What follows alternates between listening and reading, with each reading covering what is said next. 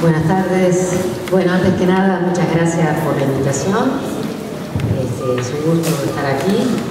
Eh, también, digamos, como muchos de ustedes, como todos, muy conmocionada por, lo que ha sucedido en 11 y, ahora precisamente porque he encontrado un chico que hace 48 horas estaba buscando.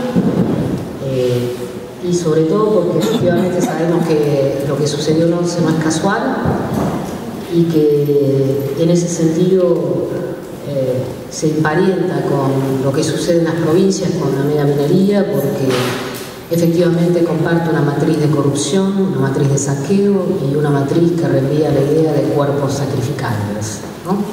Decir, eso sinceramente creo que este, son elementos en común que bien vale la pena pensar. Yo quisiera eh, comenzar este, eh, mi presentación, no sé en realidad cuánto saben ustedes sobre mega minería, eh, y como ahora este, el tema ha cobrado tanta relevancia, uno no sabe muy bien por dónde empezar, ¿no? Pero quizás quisiera hacer una presentación así como en tres momentos, hablar un poco de la presencia de la problemática en América Latina, en segundo lugar hablar del modelo minero y en tercer lugar este, hablar de la conflictividad y la cuestión del, desarrollo. Eh, digo, en primer lugar, eh, tener en cuenta esto que efectivamente eh, en Argentina, con esa visión tan local que se tiene de los procesos, a veces se descuida el hecho de que efectivamente el modelo minero este, eh, recorre, este modelo de mega minería, se expande, se está expandiendo en toda América Latina. En América Latina hay un término que es acuñado desde la literatura crítica, que es la de extractivismo. Se habla de extractivismo para designar esos procesos que tienen que ver con la sobreexplotación de los recursos naturales, denominados bienes comunes, sobreexplotación de recursos naturales cada vez más escasos, porque son agotables, y también para designar aquel proceso que tiene que ver con la expansión de las fronteras de explotación hacia territorios antes considerados como improductivos. Piensen ustedes en la zona de la Amazonía, que antes era considerada un territorio improductivo, o en las cumbres, en las altas cumbres cordilleranas, a donde antes no podían llegar, digámoslo, las nuevas tecnologías. Eh, este, este, modelo o este estilo de desarrollo extractivista eh, se generaliza hoy en día en América Latina y tiene una serie de características que tienen que ver sobre todo con la gran envergadura de los emprendimientos. Se trate de explotación de petróleo, de minería, de soja, también de mega represas que en general están al servicio de las empresas extractivas, son todos grandes emprendimientos que en ese sentido repercuten muy fuertemente sobre las formas de vida y sobre las economías regionales y los territorios en los cuales se instalan. Es un proceso que está ligado también a la tendencia a la reprimarización de la economía. En toda América Latina hoy en día se está denunciando el hecho de que efectivamente las economías latinoamericanas se están basando cada vez más en las exportaciones de bienes primarios, de bienes primarios o de bienes de consumo que no implican valor agregado y que lo que hacen es reafirmar el lugar que históricamente ha tenido América Latina en la división internacional del trabajo, que es la de ser exportadora de naturaleza. Esto reenvía de alguna manera la historia de América Latina, la extracción, despojo y saqueo de recursos naturales, sobre todo el de la, minería, ocupa un lugar fundamental desde Potosí este, hasta la actualidad. Pero en este nuevo marco, precisamente, podemos afirmar que asistimos como a una nueva fase de acumulación que implica esta división del trabajo territorial e internacional entre los países periféricos que subsidian el consumo de los países más poderosos. Este, en ese sentido, exportando este, materias eh, primas. Eh, esto hasta la, CEPAL, la Comisión Económica de América Latina, este, que no es precisamente un organismo crítico, ha puesto mucho énfasis en esta tendencia que muestra América Latina a este, este fenómeno de reprimarización y por ende de destrucción también de los segmentos que tienen que ver con este, la economía o con la estructura más industrial de diferentes eh, países. Eh, tendencia a la monoproducción o al monocultivo. Miren ustedes el caso de Argentina, es cierto que lo que más salta a la vista es la tendencia a la monoproducción o al monocultivo de soja, si uno mira a las provincias pampeanas en el norte, pero si uno mira a las provincias cordilleranas, esas provincias parecen estar condenadas a un destino minero.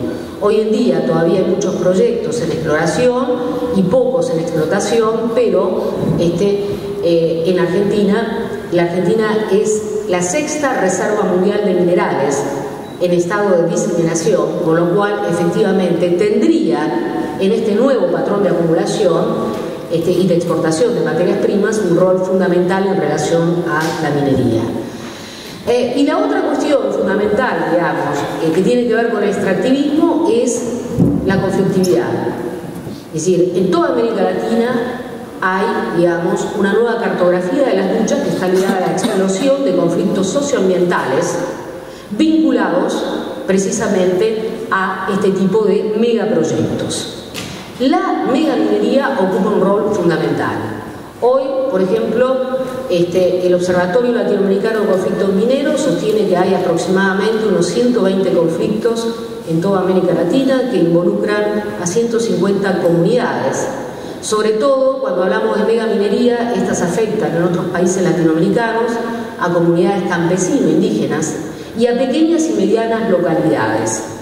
Con lo cual, la desconexión con los grandes centros urbanos en general es la regla.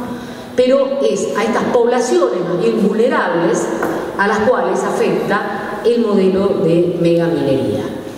¿Por qué hablamos de modelo de megaminería? Hablamos de modelo de megaminería como la faz más extrema del extractivismo porque este reúne una serie de elementos típicos. Por un lado, tiene que ver con la sanción de un marco jurídico que fomentó, digamos, y le dio grandes exenciones a la expansión del capital minero en los años 90, con el, con el menemismo acá en Argentina. Pero en realidad en toda América hizo lo que se denominó un ajuste sectorial por el cual el Banco Mundial intervino directamente, modificando códigos mineros y sancionando una legislación que favorecía enormemente a el despliegue de la megaminería. En el caso de Argentina, recuerden ustedes además que en 1994, con la modificación de la Constitución, los recursos naturales pasan a ser dominio natural de las provincias dominio originario de las provincias. Y el Estado Nacional se autoexcluye de la explotación, con lo cual está obligado a concesionar a capitales privados el proceso mismo de explotación de la minería. en los años 90 se sancionó un marco jurídico que hoy en en numerosos países, sobre todo en el nuestro, se ha continuado y más bien se ha, este, podríamos decir, consolidado. Este modelo garantiza el despojo, podríamos decir, económico de nuestras riquezas, porque estas grandes corporaciones transnacionales están exentas de numerosos impuestos y tasas que otras actividades económicas en Argentina pagan normalmente. También, este no es un modelo solamente de saqueo económico y de devastación institucional, sino de depredación ambiental, porque la megaminería efectivamente genera o está en el origen de procesos de contaminación del agua, del aire, de la tierra, está en el origen también de enfermedades que producen en la población en las cuales se implantan estos proyectos y también originan grandes pasivos ambientales a la hora de, retirarse. No se olviden ustedes que una explotación minera tiene una media de 15 años aproximadamente y cuando se retira en general esas empresas no se hacen a cargo de los pasivos ambientales que dejan, sino que es la población y el Estado el que debe ocuparse de las mismas. Es decir, es un modelo que tiene diferentes aristas y no podríamos reducir la discusión del mismo como se pretende hacer hoy en día en Argentina, por ejemplo, preguntando si bajo la lumbrera, que es el primer emprendimiento que se ha implantado en Argentina, en la provincia de Catamarca, en 1997, si bajo la lumbrera utiliza cianuro o no, si contamina o no. No es una discusión solamente técnica, sino que es una discusión también económica, es una discusión social que involucra a las poblaciones y es una discusión política también que compete a toda la sociedad y que tiene que ver también con la concepción que de la democracia tengamos y la concepción también que del desarrollo tengamos cada uno de nosotros en términos individuales, pero también en términos de proyecto de país. Eh, fundamental a tener en cuenta es que hablamos de un tipo de minería. Esto lo habrán oído hablar en diferentes eh, oportunidades, pero siempre es bueno aclararlo, que la gente que hoy cuestiona la mega minería no se opone a todo tipo de minería, sino que se opone a un tipo de minería que efectivamente es la única que aparentemente se puede desarrollar hoy, que los minerales no se encuentran más bajo la forma de beta, se han agotado, y hoy en día están diseminados en la montaña, y para ser extraídos, estas montañas tienen que ser efectivamente dinamitadas. Y para poder separar el mineral que nosotros buscamos, es necesario aplicar sustancias químicas altamente contaminantes, como puede ser el cianuro, el mercurio, para poder separarla de los otros minerales. Amén de dinamitar montañas, de utilizar sustancias químicas, para poder lixiviar ese mineral se utilizan grandes cantidades de agua y de energía. Por ejemplo, bajo la lumbrera que les decías, se ha implantado en Catamarca en 1997, está autorizada a utilizar 100 millones de litros de agua por día, que es aproximadamente lo que utiliza toda la provincia de Catamarca en el consumo este, eh, doméstico.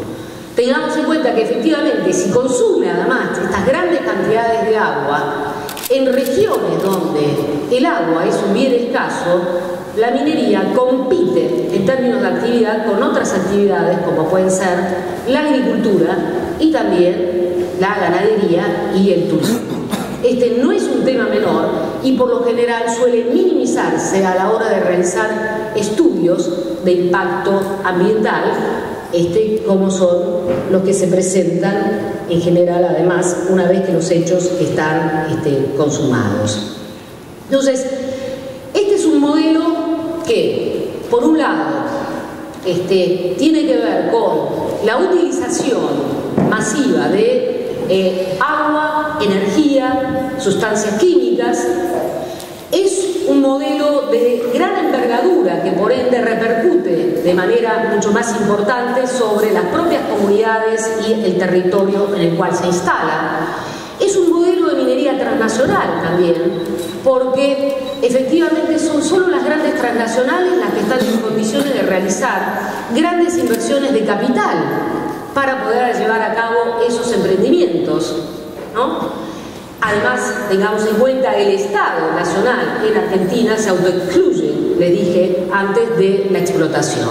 Entonces hay una serie de características que hace que efectivamente este sea un modelo que podríamos considerar más bien de mal desarrollo, un modelo nefasto que tiene las características del saqueo y de la depredación. En eh, Argentina las resistencias comenzaron hace largo tiempo. Comenzaron en el año 2003 en Esquel, en la provincia de Chubut, y tomaron una mayor envergadura a partir del año 2006. Eh, es importante subrayar el hecho que gracias a la resistencia y la construcción de redes regionales, sobre todo, en nueve provincias argentinas se sancionaron leyes que prohíben este tipo de minería con la utilización de alguna sustancia química.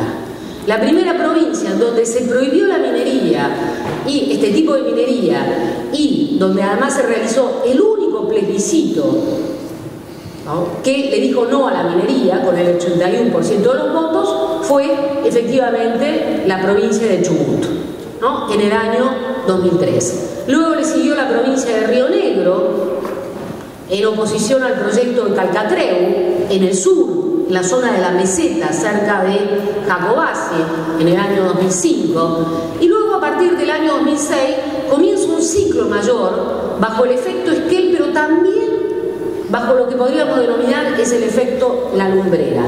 Es decir, en la medida que las poblaciones van conociendo y obteniendo información acerca de lo que es la mega minería, en la medida que las poblaciones van conociendo cuáles son los efectos que la lumbrera genera también como mega emprendimiento, no solo en la provincia de Catamarca, sino en otras provincias, las poblaciones se van organizando y van ofreciendo una resistencia cada vez mayor al modelo de la mega minería. Es por eso que a partir del año 2006-2007 tenemos una nueva oleada de leyes provinciales que se orientan a la provisión de la mega minería. Esas son la provincia de Mendoza, donde se dio una gran lucha en todo el año 2006-2007, que implicó también la intervención de federaciones de niñateros y hasta la sociedad rural estuvo cortando las rutas bajo la consigna Malbeco Cianuro. Eh, en Se conoció el primer voto no positivo de Cobos, que era en ese entonces gobernador, y que vetó la ley que se había sancionado en el Congreso que prohibía la mega minería en el año 2007. Pero gracias a la presión de las organizaciones, Cobos tuvo que finalmente resignarse y la ley fue sancionada. Esa tuvo un gran efecto sobre la provincia de La Pampa, que también sanciona una ley que prohíbe la mega minería. En la provincia de Tucumán, en esa misma época, también, gracias a la acción de ONGs y también de organizaciones de pueblos originarios, que denuncian los efectos de la lumbrera. Y fíjense, Tucumán es la sede comercial de la lumbrera. El gobernador estaba en contra y también la ley que en el año 2005 se sanciona en contra de la mega minería, hasta que en el año 2007 finalmente termina reconociendo que esa ley es una buena ley para los tucumanos. Fíjense ustedes. Luego de eso, en la provincia de Córdoba y San Luis hubo grandes movilizaciones en todo lo que es el valle de Tras las Sierras, aunque también en toda la zona de Capilla del Monte, Córdoba fue una de las primeras provincias movilizadas, ahí se sancionan, yo creo que las leyes que prohíben la mega minería más completas, en las cuales se enumeran numerosas, numerosas sustancias químicas que pueden ser utilizadas para la extracción de oro, de plata, de cobre y otros minerales. Sin duda, Córdoba fue uno de los focos de resistencia mayor e inspiró, insisto, inspiró una ley que prohibió no solo la mega minería metalífera, sino también la minería de uranio. De ahí viene San Luis. Y en 2007, por supuesto, está también la provincia de La Rioja. La provincia de La Rioja, que hoy aparece en el centro del escenario, fue una de las provincias en donde también hubo una gran movilización por parte de sectores que sobre todo estaban instalados en Chilecito y Famatina, aunque también luego se expandió hacia otras localidades. Ahí es interesante porque en realidad el proceso en el cual se dan esas luchas ambientales se cruza con una crisis interna del peronismo local. Ustedes vieron que el peronismo es un sistema político en sí mismo, alberga el oficialismo y la oposición. Bueno, ahí efectivamente el vicegobernador B. Herrera se opuso y denunció al gobernador Massa, que fue uno de los que eh, responsables de marco minero de los años 90, de las leyes mineras de los años 90 junto con Gioja. A raíz de esa interna peronista, Bere Herrera lo que hace es incorporar ese mandato ambientalista que provenía de este, las eh, movilizaciones socioambientales para acusar de entreguista al gobierno de masa Y una vez que es destituido Massa y él asume este, la gobernación, eh, no solo sanciona una ley que prohíbe la mega minería, sino que llama a una consulta popular. Sin embargo, meses después, cuando es avalado por el voto de las urnas, deroga la ley antiminera que él mismo había sancionado y nunca llama, por supuesto, a la consulta o al plebiscito que había propuesto. Todo esto entre 2007 y 2008. Un escándalo que debería haber resonado fuertemente en el escenario nacional, pero que sin embargo fue totalmente este, acallado. La última provincia en donde se sanciona una ley contra la mega minería es en Tierra del Fuego. En Tierra del Fuego, a fines del año pasado, en 2011, se sanciona una ley, también creo yo, en ese sentido, de las mejores, de las más elaboradas, porque recoge toda la experiencia de las otras provincias en la lucha y en la sanción precisamente de leyes que van restringiendo este tipo de actividad. Quiero decirles que eh, este tipo de luchas que en América Latina tienen todas ellas sus especificidades. En otros países de América Latina se apela mucho más a la consulta popular, al plebiscito, sobre todo en aquellos países en donde hay una fuerte composición de población indígena, se apela al convenio 169 de la OIT, de la Organización Internacional del Trabajo, que exige la consulta previa, libre e informada de las poblaciones indígenas, sobre todo en el caso de proyectos de explotación de recursos naturales que afectan las formas de vida de estas poblaciones. Sin embargo, en casi todos los países, sean Ecuador, sean Bolivia, sean Perú, sean México, se trata de evitar la Convención 169 de la OIT o en todo caso, sobre todo, se trata de que eh, no sea vinculante la votación de estos plebiscitos o estas consultas. Ha habido consultas populares, plebiscitos en Perú, lo ha habido también muy locales, en el caso de Guatemala y en el caso de Ecuador.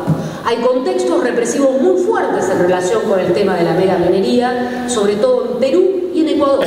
Fíjense, dos países que presentan en ese sentido un contexto político diferente.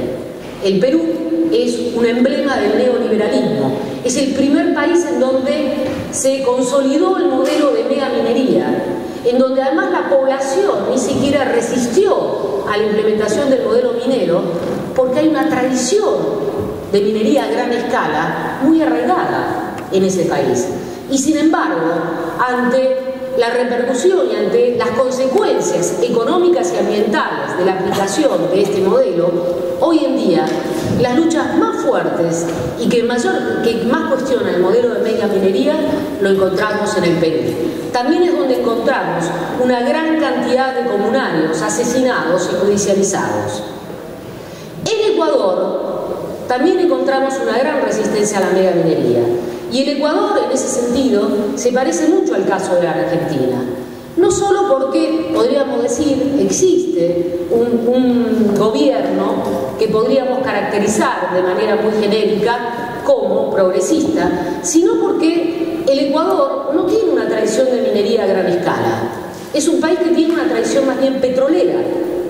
Y en ese sentido hay una gran resistencia a la mega minería. El no a la mega minería es claro. Bueno, hoy en día hay unos 200 este, luchadores, sobre todo campesinos indígenas, que, son criminalizados bajo la figura penal de sabotaje y este, terrorismo, este, bajo el gobierno de Rafael Correa, casi todos ellos son, son luchadores contra la mega minería. Es decir, que efectivamente tenemos un escenario latinoamericano que más allá de las especificidades es sin duda tiene elementos en común. Sin embargo, el caso de la Argentina es bastante particular porque aquí se han formado sobre todo asambleas este, que tienen un formato muy abierto este, en diferentes localidades de la cordillera, la precordillera, este, hay aproximadamente unas 70 asambleas que hoy están nucleadas en la Unión de Asambleas Ciudadanas y combinando una metodología de acción, podríamos decir, disruptiva, la acción directa a través de los bloqueos, pero también la acción institucional que ha llevado a la sanción, les decía yo, de nueve leyes que prohíben la mega minería, dos de las cuales fueron derogadas, la de La Rioja en 2008 y la de Río Negro en este, 2011. Esto es bastante inédito en América Latina. No hay otro país en el cual se ha dado que en estados provinciales se han sancionado leyes que prohíben la mega minería. Hay sí un solo país en América Latina que ha prohibido la mega minería y es Costa Rica. En Costa Rica se prohibió en el año 2010, pero la ley no es retroactiva.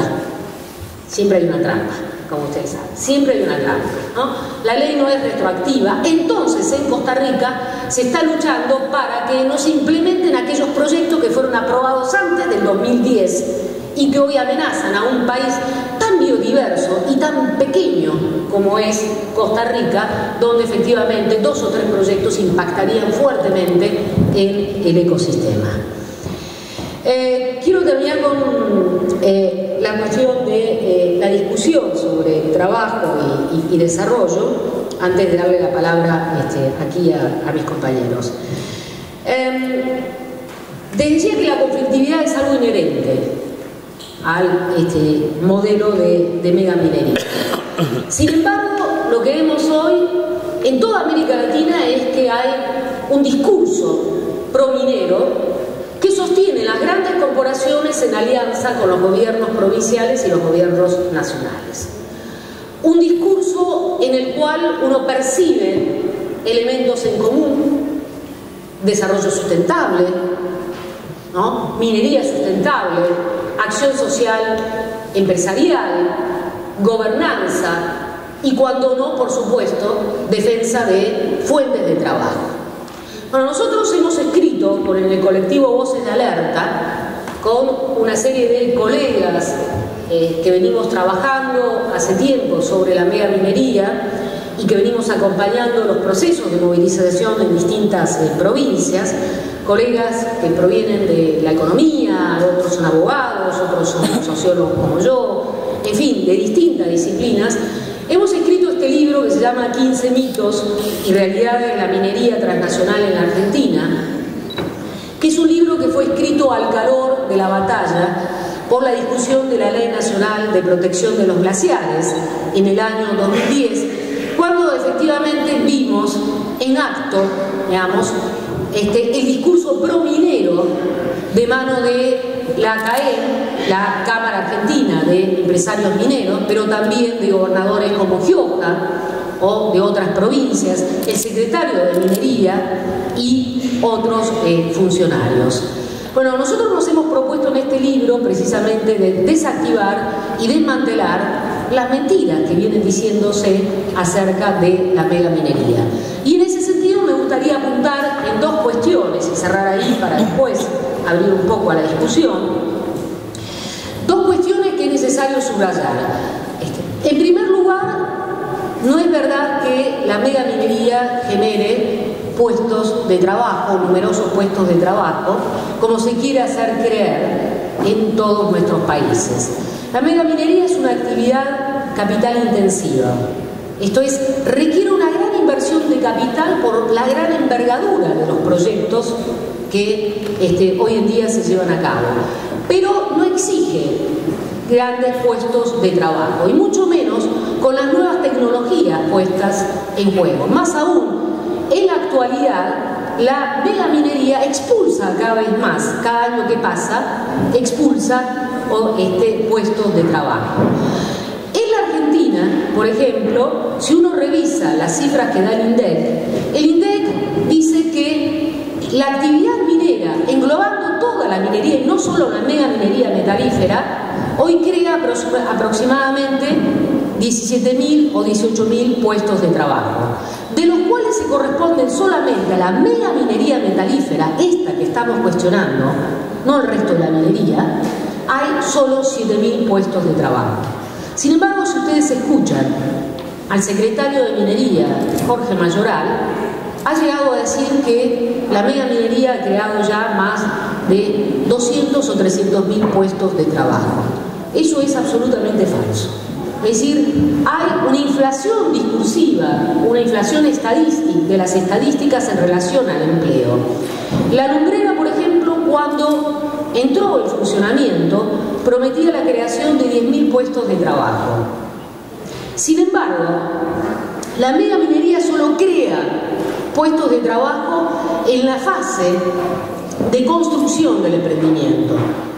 Y en esa fase de construcción del emprendimiento, la lumbrera ni siquiera creó esos 10.000 puestos de trabajo, sino solo 4.000.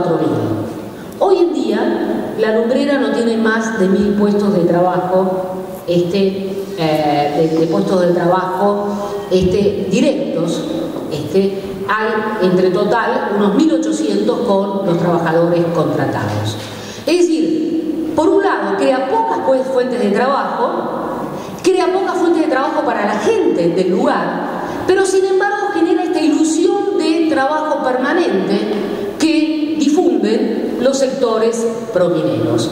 Por otro lado, como yo les decía anteriormente, tipo de mega minería repercute muy fuertemente en los territorios y como compite por el agua y la energía con otro tipo de actividades, lo que sucede es que desmantela actividades como la agricultura o inclusive perjudica actividades de tipo industrial, con lo cual la mega minería se constituye en el eje o en el centro dinamizador de la economía del lugar.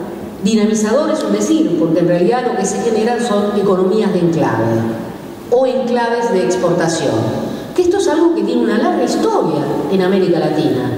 Cuando hablamos de economías de enclave, lo que queremos decir es que se generan espacios socioproductivos dependientes del mercado internacional, en términos económicos, en términos sociales, en términos tecnológicos también, y que además ese tipo de actividades no encadenamientos endógenos, esto es, no generan una actividad económica al interior de los territorios o de las regiones en las cuales se instalan. Todo lo contrario, suelen reestructurar completamente la economía del lugar que pasa a depender de estas este, actividades.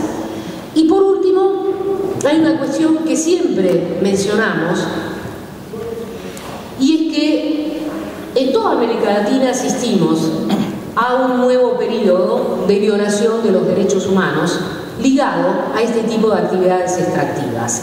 A ella existen ya una serie de informes de distintas organizaciones independientes, acá desde FOCO hasta el CERPAG, ya han hecho informes en relación a la situación de derechos humanos que hablan claramente de la violación de derechos ambientales, de derechos colectivos, de derechos territoriales en relación, digamos, a la mega minería. Pero no son solamente estos derechos que uno podría considerar casi de tercera generación como son los derechos ambientales o los derechos colectivos de los pueblos originarios.